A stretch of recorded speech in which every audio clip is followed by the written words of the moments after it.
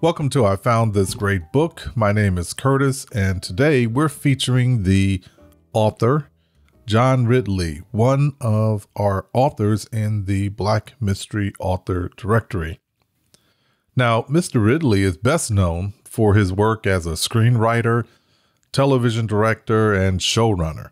And he has won an Academy Award for Best Adapted Screenplay for the film 12 Years a Slave and John Ridley is also the creator and showrunner of the critically acclaimed anthology series American Crime. Also, his most recent work is the documentary film Let It Fall, Los Angeles 1982 to 1992.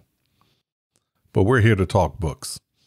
And he has three books that we're going to feature here The Drift, Stray Dogs, and love is a racket.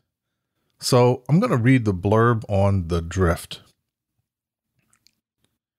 He was Charles Hammond, a black man, living white and living well. Beautiful wife, German car, big house in an upper, upper middle class suburb of Los Angeles. He is Brain Charlie, a train tramp eking out a ragged existence on the railroads, leaning on drugs to keep him from thinking about everything he had, everything his creeping dementia has forced him to run from. Charlie's been asked a desperate favor find the 17 year old niece of the man who taught him how to survive the rails. A girl lost somewhere on the High Line the corridors of racist hate along the tracks of the Pacific Northwest. Charlie has little hope of finding her alive, but the request is an obligation he can't refuse. The search is a twisted trail that leads from Iowa to Washington state, mixing lies and deceit, hate and hopelessness, and brutal, stubbornly unsolved murders all of which Charlie is prepared to meet in kind.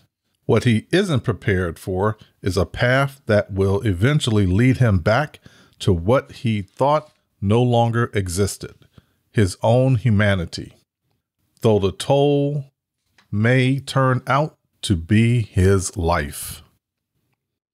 All right, now, other book Stray Dogs. A loner a drifter, a gambler, John Stewart asks little of life.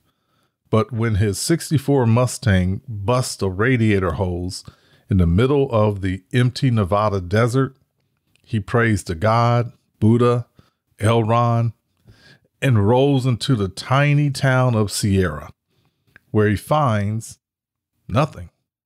A gas station whose former owner is lying low in the cemetery a strip of barren, dust blown storefronts, a truck stop cafe with more flies than customers.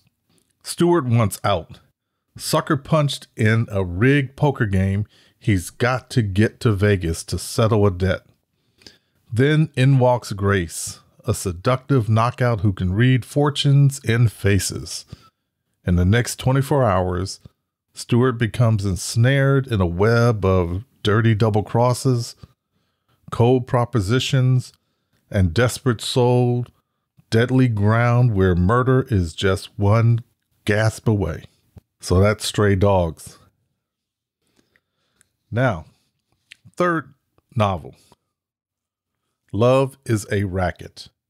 John Ridley offers a brilliant noir farce about a small time con man who finally gets it right just before it all goes wrong. Everything's a racket for Jeffrey Kittredge, a 37 year old ex wannabe songwriter living on the skids in Hollywood.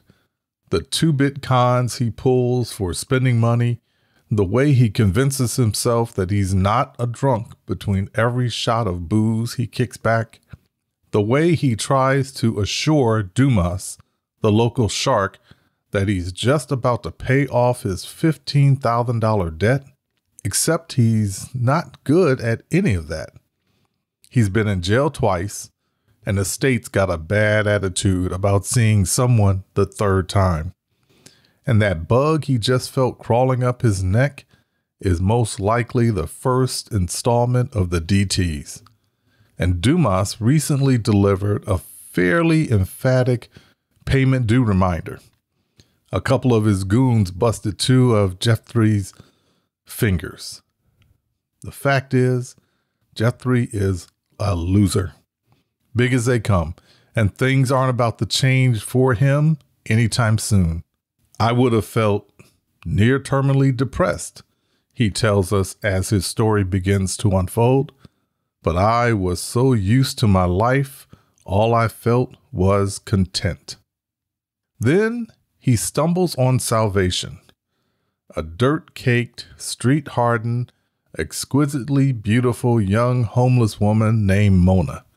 Jeffrey prefers to think of her as Angel, who inspires both his love and the idea for the perfect con. It's Jeffrey's chance to hit it big and to be set for good in his new life with his new love. The thing about love, Jeffrey declares, is no matter how twisted or wrong or evil, it never dies. But as the momentum of the con carries him closer and closer to what he imagines will be a moment of blissed out consumption with his angel, Mona, Jeffrey discovers there are some severe exceptions to his rule.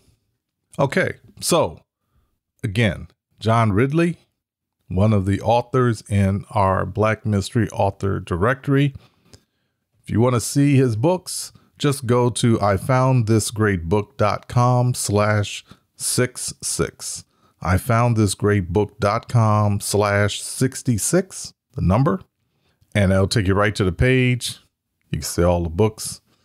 And you can, from there, you can go and look at the rest of the cool books we have and authors we have in the directory.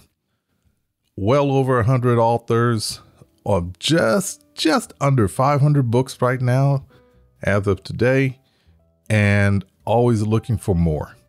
So, everyone, stay safe and have a great reading day.